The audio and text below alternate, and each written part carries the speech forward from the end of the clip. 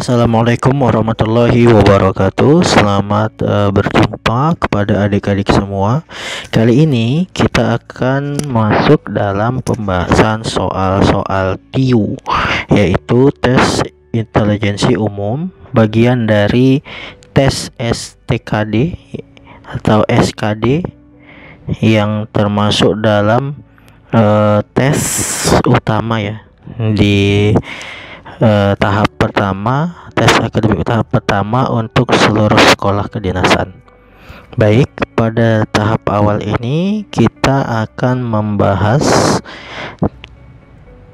tes intelijensi umum untuk bilangan dan operasinya. Jadi, ini termasuk yang bagian kuantitatif atau hitung menghitung dan judulnya yang pertama adalah bilangan dan operasinya. Oke, kita masuk ke soal nomor satu, soal latihan nomor satu. Soal latihan nomor satu bilang ada 367 dikurang minus, kan saya itu. 43 ditambah 1414 dikurang 824. Nah, ini cara mengerjakannya gimana? Ya kalau dia jumlah tandanya tambah dan kurang itu kalau kita buat ya ini ya uh, prioritasnya. Perkalian dan pembagian itu prioritasnya sama. Mana yang ketemu duluan harus dikerjakan duluan. Tambah dan pengurangan itu prioritasnya sama. Mana yang jumpa duluan itu yang harus dikerjakan. Nah ini kalau seperti ini berarti ini kan tanda kurang. Ini dulu kita kerjakan tapi jumpa minus. Jadi kalau tanda kurang jumpa uh, minus bilangan negatif maka ini kita akan tambah. 367 ditambah 43 ditambah 1414 baru dikurang 824 berapakah ini dek ya 367 tambah 43 itu 410 410 tambah 1414 410 jadi 1824 kan seperti itu. Ya.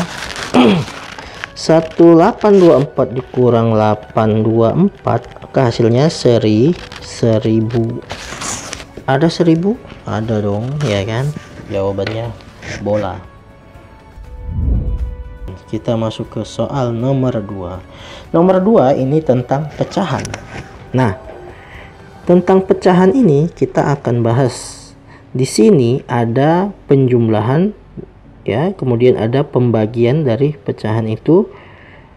Kemudian dibaginya dengan pecahan campuran. Nanti kita harus bahas satu-satu. Di sini ada tanda kurung. Kalau tadi kan prioritasnya kalau jumpa bagi dan tambah maka diprioritaskan pembagian kan. Tapi di sini ada tanda kurung. Nah, tanda kurung ini lebih prioritas lagi dia. Maka kita kerjakan dulu yang dalam kurung. Nah, seperdua tambah sepertiga.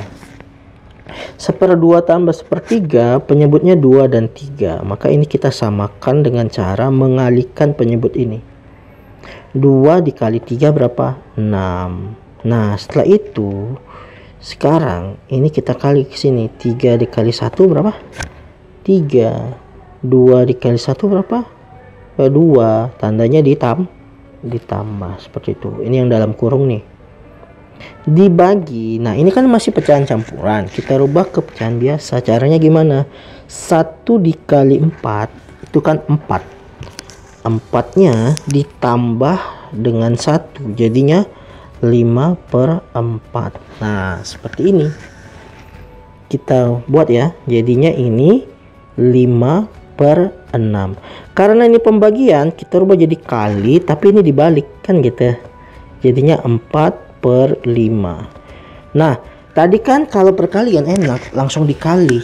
5 kali 4 dibagi 6 kali 5 tapi di sini ada angka 5 sama-sama. 5 per 5 kan 1 jadi kita tinggal dapat 4 per 6 kalau ada 4 per 6 jadikan jawaban. Kalau tidak ada maka ini kita sederhanakan dengan sama-sama membagi antara pembilang dan penyebutnya. sama-sama kita bagi dua. Jadinya 4 dibagi dua itu 2 6 dibagi dua itu 3 jawabannya 2 per 3 ayo. Sekarang ke soal nomor 3 Wow, soal nomor 3 ya. Luar biasa sekali. Nah, kita akan bahas nih. Soal nomor 2 nomor 3 ini ini sebenarnya gampang sekali deh ya. Kita akan buat ini karena ini dalam kurung ya. Berarti ini prioritas. 0,1125 per 0,45 kan seperti ini ditambah 0,2275 per 0,65 dikurang 0,15 kan seperti ini. Oke. Okay. nah. Kita akan bahas ini. Satu persatu. Jadi kita caranya ini adalah menyederhanakannya. Seperti ini ini kan empat angka di belakang koma ya. Kalau ini kita kali 10.000 maka ini jadinya 1125 seperti itu. Hilang angka di belakang komanya. Yang bawah kita kali 10.000 juga jadinya 45 kemudian ada nolnya 2 4500 ditambah yang ini juga kita kali 10.000 yang atas 2275 yang di bawah kita kali 10.000 juga jadinya 6 506 seperti itu. Dikurang 0,15 nah sekarang ini mau kita bagi nih. Sama-sama kita bagi 5 nih. 1125 kita bagi 5 hasilnya adalah 225 sementara yang bawah 45 kalau kita bagi 5 itu kan 9 ada nolnya 2 Nah, ditambah yang ini 2275 kalau kita bagi 5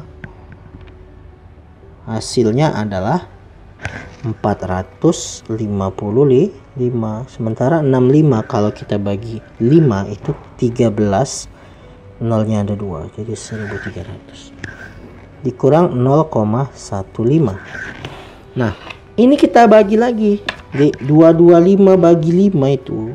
225 225 bagi 9 itu